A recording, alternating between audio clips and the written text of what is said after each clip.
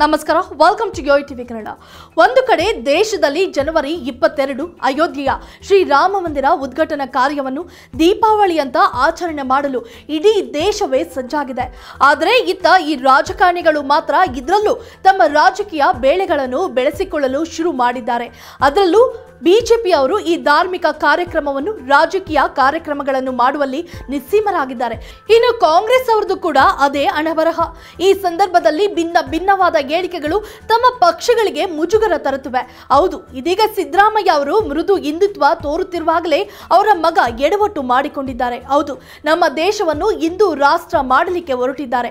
ಆ ರೀತಿ ಹಿಂದೂ ರಾಷ್ಟ್ರ ಆದರೆ ನಮ್ಮ ದೇಶವು ಪಾಕಿಸ್ತಾನ, ಅಫ್ಘಾನಿಸ್ತಾನವಾಗುತ್ತದೆ.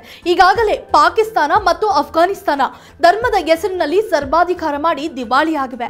ಅದೇ ರೀತಿ ದೇಶ ಜಾತ್ಯಾತೀತ ತತ್ವ ಬಿಟ್ಟು ಧರ್ಮದ ಹಿಂದೆ ಹೋದ್ರೆ ಅಭಿವೃದ್ಧಿ ಕಾಣಲ್ಲ. ದಿವಾಳಿ ಆಗುತ್ತದೆ ಎಂದು ಮಾಜಿ ಶಾಸಕ ಯತೀಂದ್ರ ಸಿದ್ದರಾಮಯ್ಯ ವಿವಾದಾತ್ಮಕ ಹೇಳಿಕೆ ನೀಡಿದ್ದಾರೆ. ಇತ್ತೀಚೆಗಷ್ಟೇ ದಾವಣಗೆರೆಯ ರುದ್ರನಕಟ್ಟೆ ಗ್ರಾಮದಲ್ಲಿ ನಡೆದ ಸಂಗೊಳ್ಳಿ ರಾಯಣ್ಣ ಪ್ರತಿಮೆ ಪ್ರಾಣ ಪ್ರತಿಷ್ಠಾಪನೆ ಕಾರ್ಯಕ್ರಮದಲ್ಲಿ ಭಾಗವಹಿಸಿ ಮಾತನಾಡಿದ ಅವರು, ಕೆಲವರು ನಮ್ಮ ದೇಶವನ್ನು ಹಿಂದೂ ರಾಷ್ಟ್ರ ಮಾಡಲಿಕ್ಕೆ ಹೊರಟಿದ್ದಾರೆ. ಆ ರೀತಿ ಹಿಂದೂ ರಾಷ್ಟ್ರ ಅಂದ್ರೆ ನಮ್ಮ ದೇಶವು ಪಾಕಿಸ್ತಾನ ಅಫ್ಘಾನಿಸ್ತಾನವಾಗುತ್ತದೆ ಪಾಕಿಸ್ತಾನ ಮತ್ತು ಅಫ್ಘಾನಿಸ್ತಾನ ಧರ್ಮದ ಹೆಸರಿನಲ್ಲಿ ಸರ್ವಾಧಿಕಾರ ಮಾಲಿ ಈಗಾಗಲೇ ದಿವಾಳಿ ಆಗಿ ಹೋಗಿವೆ. ದೇಶ ಜಾತ್ಯಾತೀತ ಬಿಟ್ಟು ಧರ್ಮದ ಹಿಂದೆ ಹೋದ್ರೆ ಅಭಿವೃದ್ಧಿ ಕಾಣುವುದಿಲ್ಲ.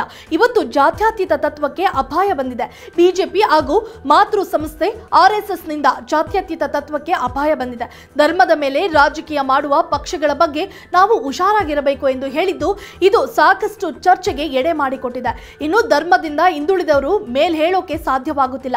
ಇತಿಹಾಸವನ್ನ ನೋಡಿ ನಾವು ಪಾಠ ಕಲಿಯಬೇಕು. ಇತಿಹಾಸ ನೋಡಿ ನಾವು ದೇಶವನ್ನ ಕಟ್ಟಬೇಕು. ದೇಶಕ್ಕೆ ಉಜ್ವಲ ಭವಿಷ್ಯವಿದೆ. ಹೈಕೋರ್ಟ್ ಹಾಗೂ ಸುಪ್ರೀಂ ಕೋರ್ಟ್ನಲ್ಲಿ ಯಾರು ಹಿಂದುಳಿದವರು? ಅಲ್ಪಸಂಖ್ಯಾತ ನ್ಯಾಯಮೂರ್ತಿಗಳು ಎಷ್ಟು ಜನರಿದ್ದಾರೆ?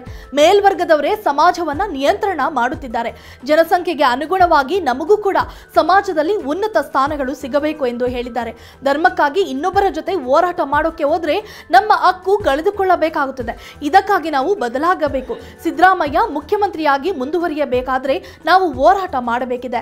ಈ ಮೂಲಕ ಯತೀಂದ್ರ ಅವರು ತಮ್ಮ ತಂದೆ ಸಿದ್ದರಾಮಯ್ಯ ಎರಡೂವರೆ ವರ್ಷ ಅಷ್ಟೇ ಮುಖ್ಯಮಂತ್ರಿ ಎಂದು ಪರೋಕ್ಷವಾಗಿ ಹೇಳಿದ್ದಾರೆ. ಸಿದ್ದರಾಮಯ್ಯ ಐದು ವರ್ಷ ಸಿಎಂ ಆಗಿರಬೇಕೆಂದ್ರೆ ನಾವು ಒಗ್ಗಟ್ಟಾಗಬೇಕಿದೆ ಎಂದು ಪುನರುಚ್ಚರಿಸಿದರು. ಇತ್ತ ಅಯೋಧ್ಯೆ ಉದ್ಘಾಟನೆ ಕಾರ್ಯಕ್ರಮ ವಿಚಾರವಾಗಿ ಕಾಂಗ್ರೆಸ್ ಎಂಎಲ್ಸಿ ಬಿಕೆ ಹರಿಪ್ರಸಾದ್ ವಾಗ್ದಾಳಿ ನಡೆಸಿದ್ದು, ಇದೀಗ ಕರ್ನಾಟಕದಲ್ಲಿ ಗೋಧ್ರಾ ರೀತಿ ದುರಂತ ಸಂಭವಿಸಬಹುದು ಎನ್ನುವ ಮೂಲಕ ಹೊಸ ವಿವಾದಕ್ಕೆ ನಾಂದಿ ಹಾಡಿದ್ದಾರೆ. ರಾಮ ಮಂದಿರ ಉದ್ಘಾಟನೆ ಧಾರ್ಮಿಕ ಕಾರ್ಯಕ್ರಮ ಅಲ್ಲ, ಇದೊಂದು ರಾಜಕೀಯ ಕಾರ್ಯಕ್ರಮ ಆಗ್ತಿದೆ. ಧಾರ್ಮಿಕ ಕಾರ್ಯಕ್ರಮ ಆಗಿದ್ರೆ ನಾವೆಲ್ಲರೂ ಹೋಗುತ್ತಿದ್ದೆವು. ಧಾರ್ಮಿಕ ಕಾರ್ಯಕ್ರಮ ಆಗಿದರೆ ಧಾರ್ಮಿಕ ಮುಖಂಡರು ಭಾಗಿಯಾಗಬೇಕಿತ್ತು. ಶಂಕರಾಚಾರ್ಯರು ಇದರ ಮೂಲ ಗುರುಗಳು. ಅದೇ ರೀತಿ ಧರ್ಮ ಗುರುಗಳು ನಡೆಸಿಕೊಟ್ಟಿದ್ದರೆ ಅದು ಧಾರ್ಮಿಕ ಕಾರ್ಯಕ್ರಮ ಆಗುತ್ತಿದ್ದು. ಮೋದಿಯ ಧರ್ಮವೇ ಇನ್ನು ಯಾವುದು ಅಂತ ಗೊತ್ತಾಗ್ತಿಲ್ಲ. ಅಮಿತ್ ಶಾ ಧರ್ಮವೇ ಯಾವುದು ಅಂತ ಗೊತ್ತಾಗ್ತಿಲ್ಲ ಎಂದು ಹೇಳುವ ಮೂಲಕ ವಿವಾದವನ್ನ ಸೃಷ್ಟಿಸಿದ್ದಾರೆ. ಈಗ ಯತೀಂದ್ರ ಸಿದ್ದರಾಮಯ್ಯ ಮತ್ತೊಂದು ವಿವಾದಾತ್ಮಕ ಹೇಳಿಕೆ ನೀಡಿದ್ದಾರೆ.